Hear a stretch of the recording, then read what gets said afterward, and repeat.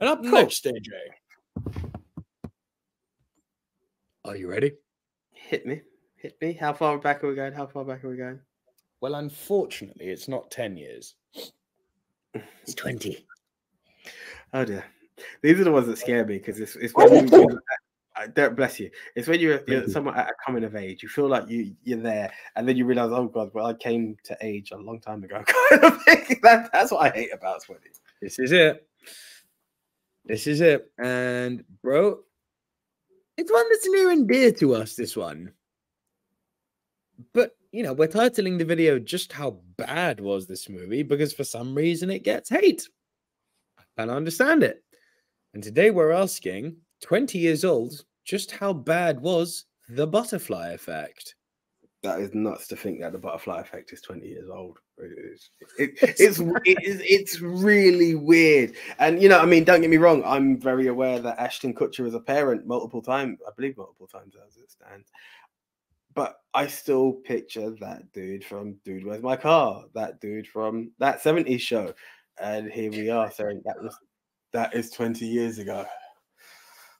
Insane. Yeah, that that that's mad. Um, a different concept of time travel and stuff. It, it, was a it's a very very interesting take of a film. Don't get me wrong.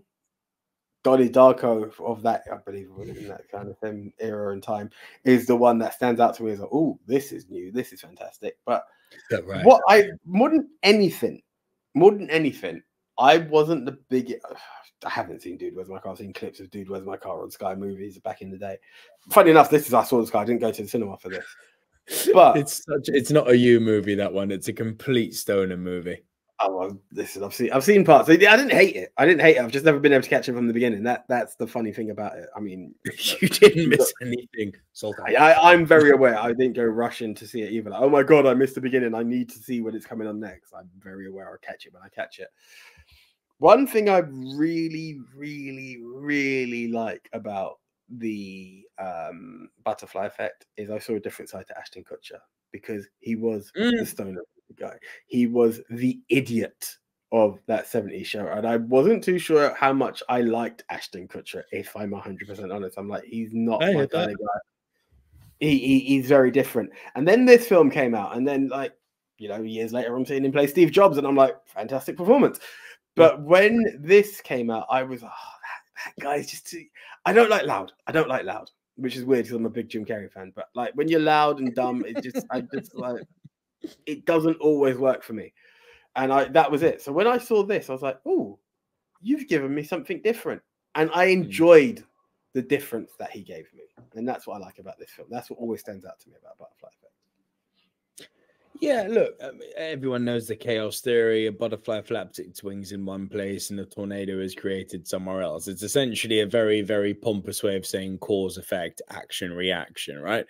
And time travel, kind of. Um, it was the loosest term I could Not that you're wrong with time travel. It, it definitely uses time travel on, on a surface level, but it's very much showing what happens if you do, you know, if I put the if I put the microphone here instead of here, how is that going to affect multiverse theory? But how is that going to affect the other worlds around me? How's that going to affect my future? How is that going to affect who I become? Will putting my phone over here completely change the outcome of existence? The butterfly effect says yes, but we just don't know how right? And this movie very, very liberally plays with that concept in all sorts of fun and creative ways, such as him going back to his high school years and having to live those out, such as going back to his early, early years where he was abused by a pedophile, when he loses his arms, when he makes decisions that result in his girlfriend ending up being a hooker, and like it's kind of zany and out there. One instance where he ends up in prison, like it just says, how how far can we really push this madness? And yeah, listen, people didn't like it. Let's let's watch the trailer and just and just see maybe if we can figure out why that was. Because going off memory, I still really dug this. Um, actually, just before I do, let me just get the trailer ready so it's not uh having any of those. Yeah, there you go. Ads playing for it. So that's what we're gonna get rid of. You don't get ads on my channel. You must be joking. I'm not doing an ad. An, imagine this, AJ, an ad within an ad. We're inceptioning YouTube ads here. Uh, but yeah, trade is ready. Here, let's have a look at this bad boy and just see how bad it really is, if at all. Uh, okay, and ready? Let's go. Let's go. People want to get the. New line, makers of Lord of the Rings. And you said those blackouts. Oh, Amy Well, Smart. some of those memories been coming back to me. There are moments in life we choose to remember. In a world. Voiceovers. I love Amy Smart. I really do. We can never forget. All I know is that by reading these journals, I might be able to get Kayleigh back. I'd think twice about what you're doing. You could wake up a lot more messed up than oh, you Oh wow, now. Ethan Suplee. Yeah. I haven't seen his like this before. But what if you could go back in time? You are completely relaxed. Think of it like a movie. You can pause, rewind, or slow down. Could you save the one person that mattered the most? Honey, are you I'm just, yeah, nothing but good memories. Incredible. Yeah, this is I when he lost was you uh, and I'm not losing you This is when I it mean, was you all never good. lost me. What are you talking about? You got nice life. You stay away from us. Damn. It's been a while since I Oh wow, it's been a Kayleigh? Is she while. Jesus, stained. If I go back to the beginning, I might be able to save her. been a while. Just tell me if you see anything weird. Weirder than this. Oh wow! Look at all these young actors, three famed people.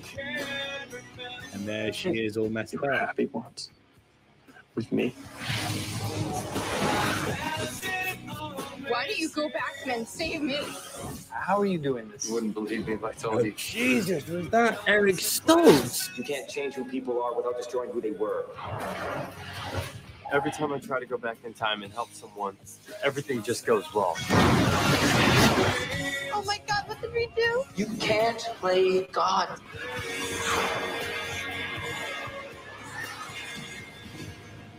The butterfly effect. Gotta love it. The butterfly effect. It's just so it's such an era gone of, of adverts. It really is. In a world where there are butterflies.